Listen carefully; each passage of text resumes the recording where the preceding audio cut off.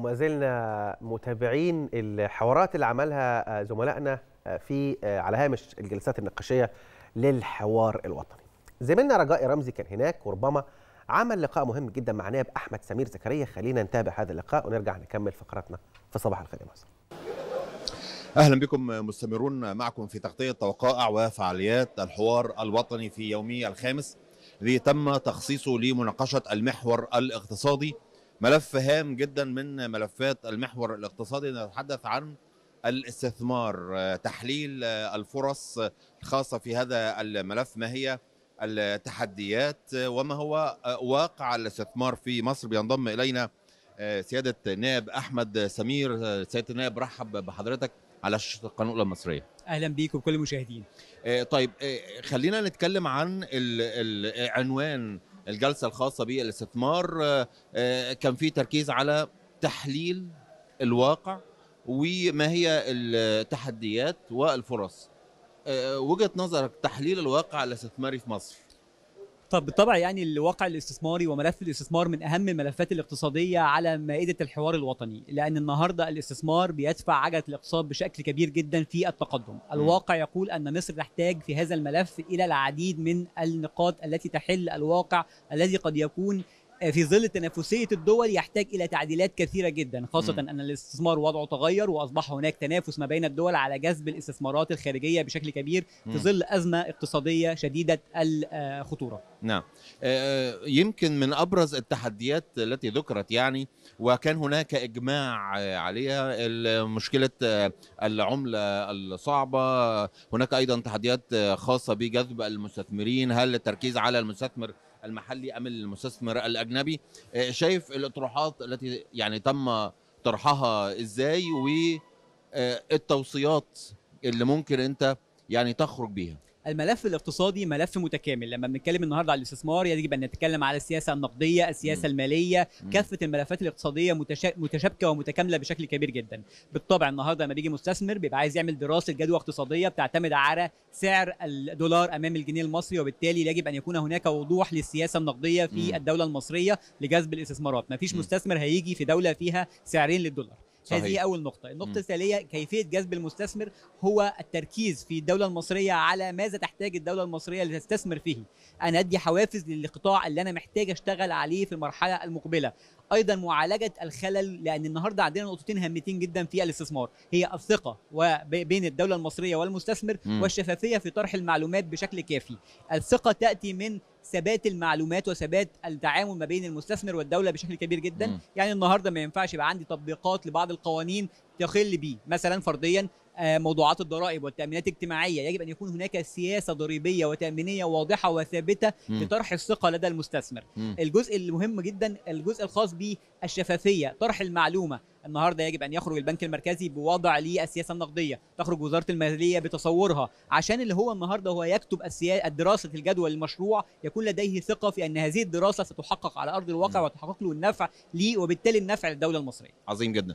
ست نائب إحنا بما إنك طبعا أنت متخصص وخبير اقتصادي بالأساس ال ال الهدف المستهدف إن إحنا نصل بالإسهام الاستثمار في الناتج المحلي المصري تقريبا نصل إلى 15% وإحنا أعتقد لا نتجاوز دلوقتي 3% أعتقد يعني هناك شغل كبير جدا عايز يتعمل. حضرتك شايف الموضوع سهل إن إحنا نحققه 15% أعتقد إن النهارده ردا على حضرتك يجب أن يتبع قواعد الجمهورية الجديدة. يجب أن نجعل قواعد الاستثمار قواعد جديدة. لأن النهارده هناك معطيات للاستثمار في كافة دول العالم التي تنافسنا وبالتالي يجب أن نأخذ هذه القواعد التي تتناسب مع وضع الاقتصاد المصري م. لنخرج منها بشكل جديد يتوافق مع الجمهوريه الجديده عشان نوصل للأرقام اللي حضرتك بتقولها دي م. مش هنوصل لها بنفس أدائنا في هذه المرحلة م. يجب أن يكون هناك تطوير أعتقد أننا نحتاج لوزارة الاستثمار اللي تبقى رؤية للدولة المصرية أنها تهتم بهذا الملف ولا هناك وزارة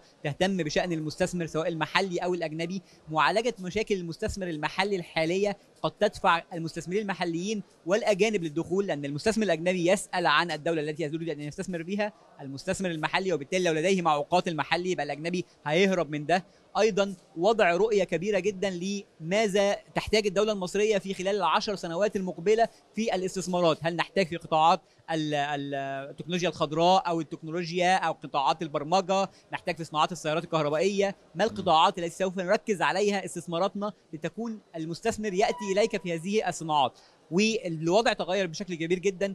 ما تطرحش النهارده فرص لا اذهب إلى من تترجته من تستهدفه في هذه المرحلة وابحث عن إزالة المعوقات لديه ليأتي إليك مستثمرا وبالتالي تبقى عندك فرص لتشغيل ونقل تكنولوجيا وإتاحة أرقام كبيرة في الاستثمار خاصة إن أنت دولة تتمتع بقدر كبير جدا من الموارد والحوافز تحتاج بعض التعديلات التشريعية والتعديلات في التعامل قبل التشريعات.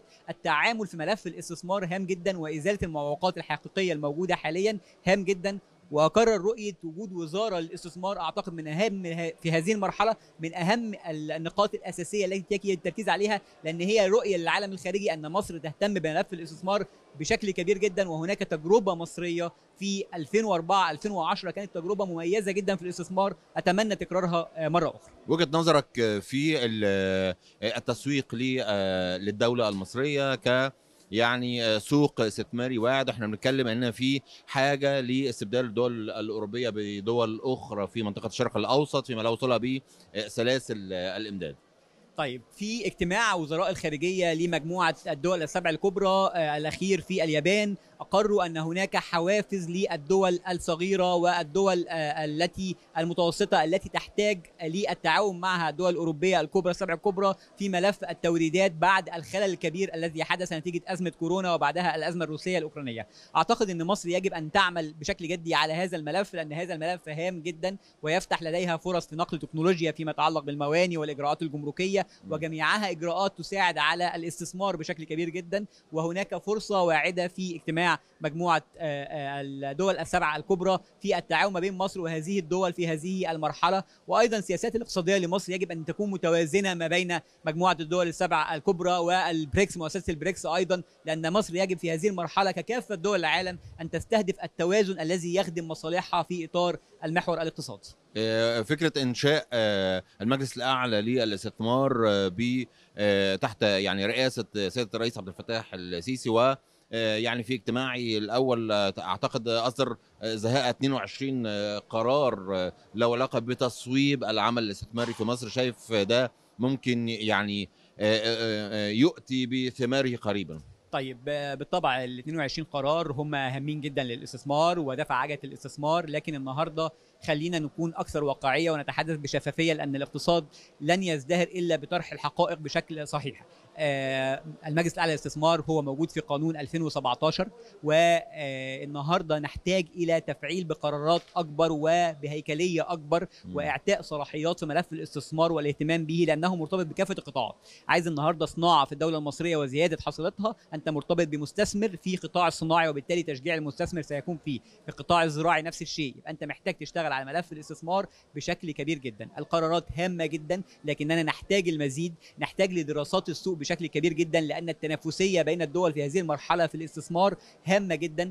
خروج كمان المعدلات زياده الاستثمار الأجنبي للدولة المصرية يجب أن تكون بالمقارنة بالدول الأخرى لأن إحنا آه. النهارده لازم نبقى شايفين إحنا فين ووصلنا لفين واللي جنبنا كمان بقى فين ووصل فين وليه إحنا ما صحيح. بقناش زيه هذه النقاط هامة جدا لكن بالطبع المجلس الأعلى للاستثمار وقراراته الأخيرة هي قرارات مشجعة جدا للاستثمار في المرحلة المقبلة في الدولة المصرية أشكرك شكرا جزيلا سيادة. النائب أحمد سمير. أشكرك شكرا جزيلا اذا مشاهدينا المستمرون معكم في تغطية وقائع وفعاليات الحوار الوطني في جلساته الاقتصادية. شكرا لكم.